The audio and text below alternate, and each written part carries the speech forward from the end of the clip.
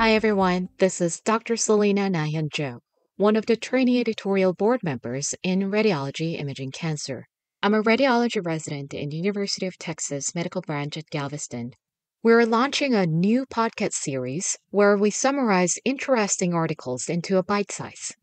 This podcast provides background knowledge for everyone to understand and enjoy oncologic imaging research on the go. This is bite sized research for Radiology Imaging Cancer, March 2023 issue. The first article is from Northwestern University in United States. The first author is Dr. Andrew Gordon, and the senior author is Dr. Sarah White. The title of the article is Chemical Shift MRI Monitoring of Chemoembolization Delivery for Hepatocellular Carcinoma Multicenter Feasibility of Initial Clinical Translation. Little background on approaches to non resectable HCC. The treatment choices for hepatocellular carcinoma are based on tumor stage, liver function calculated with Child-Pugh score, and ECOG performance status that measures the patient's ability to function daily. Broadly, HCC treatment can be divided into resectable versus non resectable tumors. Most patients present with non resectable tumors due to advanced tumor size, vascular invasion, and presence of metastasis. The Barcelona Clinic liver cancer or BCLC staging system is commonly used for treatment planning as the staging reflects the prognosis. Patients with early stage HCC defined as single tumor measuring up to 5 cm without vascular invasion are classified as BCLC 0 or BCLC A and are candidates for resection or ablation with or without liver transplantation. On the other hand, patients with metastasis, an extrahepatic extension of tumor, or vascular invasion with good liver function are classified as BCLC-C. They are treated with systemic therapies such as sorafenib. Patients with poor liver function or ECOG performance status are categorized as BCLC-D and receive supportive care. BCLC-B is intermediate category assigned to patients with large multinodular tumors but relatively good liver function.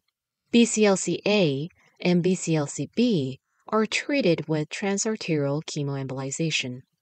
Conventional transarterial chemoembolization for hypervascular HCC utilizes emulsification of iodinized oil, also known as Lipiodol, and active chemotherapy agents such as doxorubicin or mitomycin C. The mixture is infused into arterial tumor feeding vessels.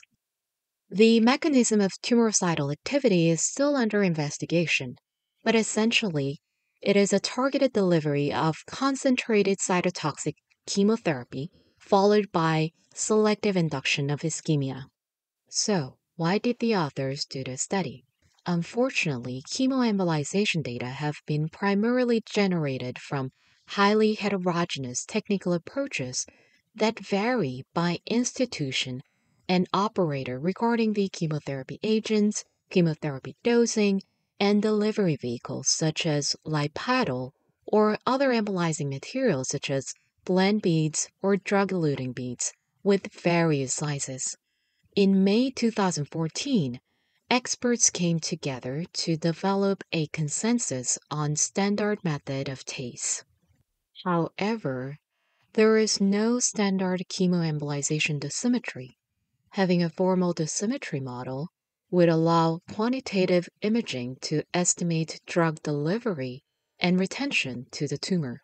In turn, this will facilitate the interinstitutional comparisons of outcome and prognostic metrics to optimize future chemoembolization protocols.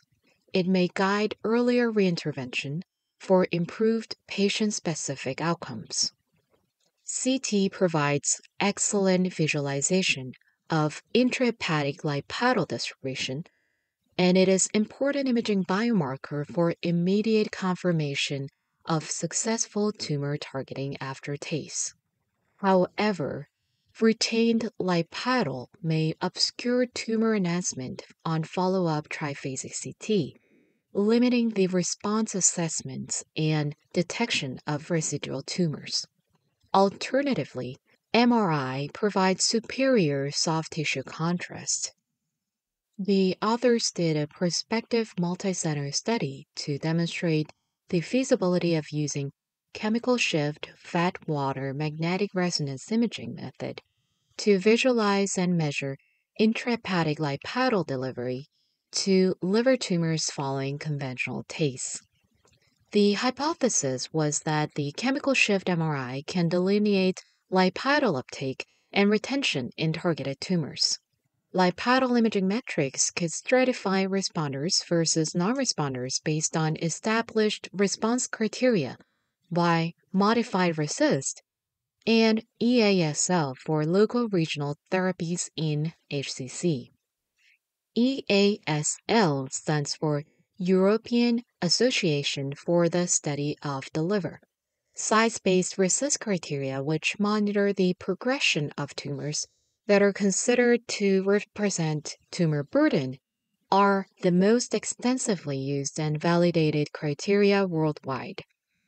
However, the RECIST criteria cannot reliably determine the treatment benefits of local regional intraarterial therapies such as TACE. The modified RECIST and EASL criteria were developed to assess tumor response to local regional treatment targeting the hyper enhancing tumors. They introduced the concept of viable tumor, defined as visualization of any degree of enhancement after contrast injection. Purpose This study aimed to demonstrate the feasibility of using chemical shift fat water MRI to visualize and measure intrahepatic Lipiodol delivery to the liver tumors following the conventional TACE. The hypothesis was that these matrices could stratify tumor response on follow up MRI. Methods 28 patients with hepatocellular carcinoma treated with conventional TACE were evaluated. Lipiodol uptake was evaluated on first month follow up chemical shift MRI, measurements of tumor size with MRI and CT, attenuation and enhancement on CT, fat content percentage, and tumor to normal ratio on MRI were compared by lesion for responders versus non responders assessed by modified RECIST for hepatocellular carcinoma and EASL criteria. Secondary endpoints were adverse events and overall survival.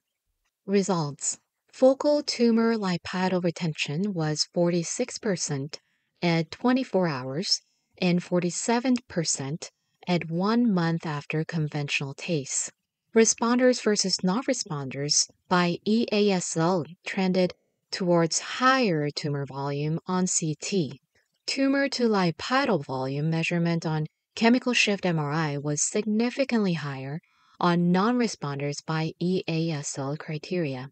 Other factors like doxorubicin dosing, presence of focal fat, and combination endpoint of focal fat versus low doxorubicin dosing did not show statistically significant results to overall survival after TACE. Conclusion Chemical shift MRI allows assessment of tumor Lipiodol delivery out to one month with tumor Lipiodol volume as a potential biomarker for stratification of tumor response by EASL. The authors concluded that chemical shift MRI method allow visualization and measurement of tissue Lipiodol content, in turn providing functional matrix that may aid in evaluating local tumor response and warrant for further investigation to predict longitudinal response following chemoembolization. Perspectives this early work demonstrates the feasibility of using chemical shift MRI methods to visualize Lipiodol delivery to the tumors following the chemoembolization. Although it is not statistically significant, the authors pointed out that the tumor Lipiodol volume on chemical shift MRI was significantly higher on non responders by EASL. Further work on this field is needed to develop a potential imaging biomarker for prediction of the local response. Thank you for tuning in. Please check out the latest issue of Radiology Imaging Cancer on our website for more details on this article. See you again!